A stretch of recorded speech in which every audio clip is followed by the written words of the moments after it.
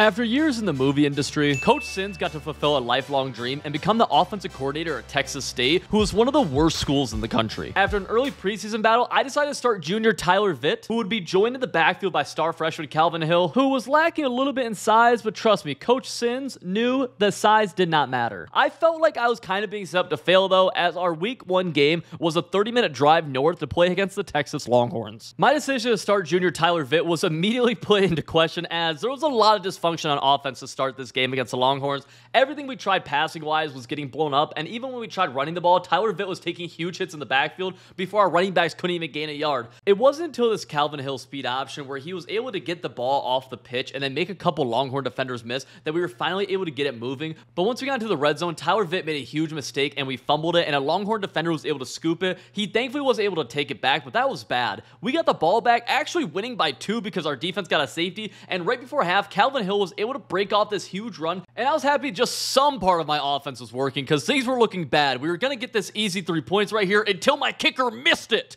and only holding a two point lead against a team like the Longhorns seemed like a death sentence, but we were bailed out time and time again by our defense as Quinn Ewers threw another pick. We took it all the way down to the four, and I said, hey, boys, we got to score or else we're done here. Tyler Vitt answered the call with his quarterback keeper up the middle for a touchdown, and that was my first ever offensive points as an offensive coordinator, and I was so excited. But I can't lie, piss was running down my leg as I watched Quinn Ewers pimp sweat my defenders, and a Longhorn read option on third and goal was able to finally get them into the end zone, which I really couldn't complain about. They were bound to score. We ran a switch concept on the right side, and this wheel route was wide open for a huge gain, and it was all about chewing clock and getting points. We ran a sweep to the left, and Jeter was able to get outside of the Longhorn defense all the way past midfield, close to the 35, and when a huge opportunity came up on a fourth down for us to take a five point lead, I again trusted my idiot kicker who said, Coach, I can definitely make this. And he shanked it like a moron. Only having a two point lead against the Longhorns is scary, but when they called a draw on third and 17, I thought maybe their offensive coordinator was throwing the game, but it didn't matter to me.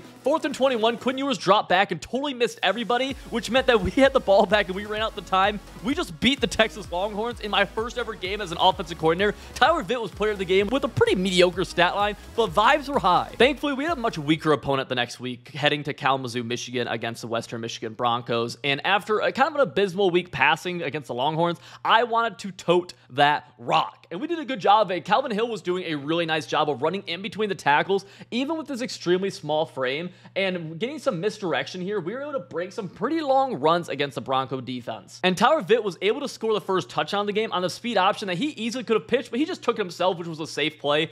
14 to 14 with just under three minutes left in the fourth quarter. Tyler Vitt was in the backfield, and Calvin Hill was coming across in jet motion. We handed it off to him, and he outran the entire Bronco defense before punching it in into the end zone to give us the lead, which eventually gave us the W in week number two. Our home opener was against Texas Tech, and I was really happy about how things were going in my first season as an offensive coordinator. We dropped back in the second quarter and found this corner route wide open on the smash concept to the right for the first score of the game. The Red Raiders were able to strike back, and they even took the lead late into the fourth quarter. Tyler Vitt was determined, though, to make sure that we were not going to take our first L of the season, and Calvin Hill brought us all the way down to the six yard line. We ran a screen call, and I was wrong for this as they totally sniffed it out. Tyler Vitt broke a sack on the following play, looking deep down the field. Nobody was open, so he decided to try to take himself. He launched himself over a defender, but took a huge hit. And an instant replay, we could see just how bad it was. And he had to come out of the game, meaning that backup Brady McBride, who had lost the quarterback battle earlier this year, was now in the game. We ran a speed option to the left. Brady McBride made the correct read, and Calvin Hill did everything he could to score, but he couldn't, which gave us the first loss of the season. And Tyler Vitt was going to be gone for the next four weeks with the strained Achilles. Losing your starting QB is always a terrible thing, but Brady McBride was here to show that he did almost win that quarterback battle to begin the year, and he was probably arguably a better passer from the pocket than Tyler Vitt was, and he was showing it on this two minute drill against UTSA. We were down five, and there was just over a minute left. He found this dig route to Bar B, and then was able to find a zig on the right side over to Groves, who got out of bounds just past the 10. This drag over the middle was found, and he came up just a little bit short of the end zone, and the head coach decided to opt for a field goal instead of giving me one more play call, which I was really frustrated with. McBride had his opportunity regardless to show just what he could do as we were down one with over a minute left in the fourth. He delivered this laser in the middle of the field to Spates, and then on the goal line. McBride ran a speed option, pitched out to Calvin Hill, and Calvin Hill was able to score. We thought we had the W, but the defense actually folded this game and let us go into overtime. McBride again answered from the pocket with this dot over the middle, and our defense was finally able to close this out on this fourth and eight, forcing incompletion. Brady McBride was now 1 0 and the player of the game in his first ever start. In his second week as a starter, McBride followed up his awesome opening week with a performance that went down in school history, delivering touchdown after touchdown against the Raging Cajuns, and we were just starting to pile it on. He was a bit of a seaming demon as he was able to hit the seams really easily, and he threw for five touchdowns in this blowout W. And Calvin Hill was even making his mark in the receiving game as a halfback.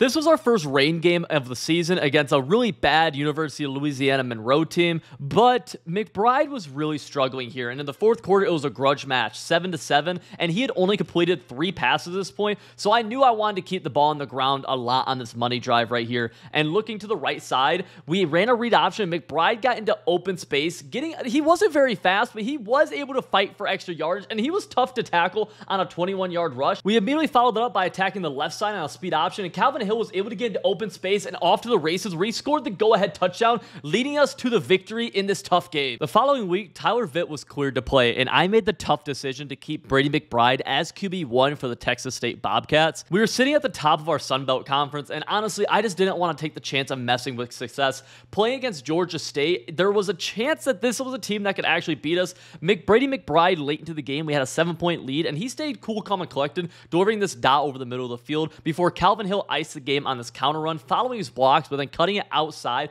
for a huge first down that pretty much put the game away for us. Brady McBride came away with this with another player of the game, and I felt way more confident that I had made the right decision regarding our quarterback. I really wish this following game had just never happened. In another rain day, Brady McBride showed me that he could not play football when the ball was slippery. It was like if he had butter on his hands. It was just slippery, like Vaseline, lather himself up. He could do nothing right. Late into the fourth quarter, I did dial one of my favorite plays that was meant for a close game to be able to take the lead, but instead we threw this hook and ladder play and got a huge gain out of it, but nothing came out of the drive, and we got blown out by South Alabama on this interception, icing the game. This was a bad loss for me and the team, and it started to make me question the quarterback decision I had just made. I told Brady McBride that this game against Appalachian State was going to be huge. If he messed up, he was done. And we were winning 21-0 in the first half and McBride was able to run that score up even more. Yeah, he answered the call because guess what? It wasn't a rainy day, so I guess he was fine delivering pinpoint pass after pinpoint pass,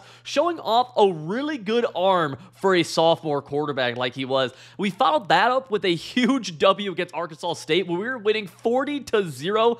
Tyler Vitt did get some playing time this game. It was cool to see because he really never did anything wrong. It was just that Brady McBride was playing so well. Tyler Vitt did do well in his couple of snaps, and it made me feel good that at least we had a good quarterback too. We lost this following week though to Western Kentucky University at a score 41 to 38 because our defense couldn't do literally anything, and this made us drop to number three in the conference. We were sitting with an eight and three record and a four and two conference record, but we had to win this huge game against Troy to have any chance to make our conference championship. It was, of course, Brady McBride's worst nightmare as it was raining raining and we were down eight with a minute left. He was delivering some good balls, though. He had a good pair on him, delivering dot. And on fourth and 10, he found the semen demon himself, Groves, for a touchdown. We needed this two point conversion. I had dialed up a triple option play, and Calvin Hill was going to be wide open receiving this handoff and then able to cut it up for an easy two point conversion.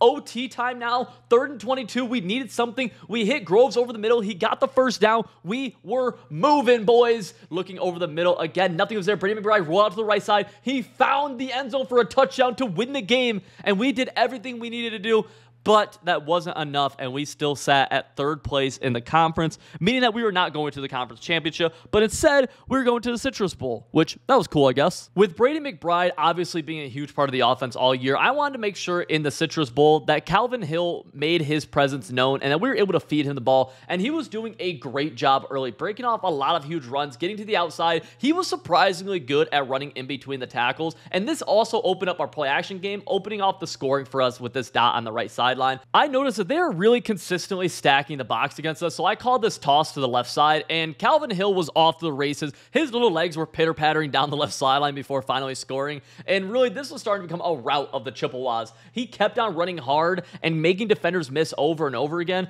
but disaster kind of struck on this run play where he took it and he really didn't even get hit that hard, but his head was pounding and he got a concussion, so he had to sit out for the rest of the game. Brady McBride took it upon himself to finish this game out, delivering a nice dot on the comeback to the left side before taking this read option into the end zone to essentially ice the game against Central Michigan and winning us the Citrus Bowl. My first season at Texas State was now officially a success, and the happiest people about it were the frat bros, because this meant they were definitely gonna get laid tonight after the big W. When I got back to my office, I had an offer from Texas State to renew for another year, but I also had a few other offers. What should I do?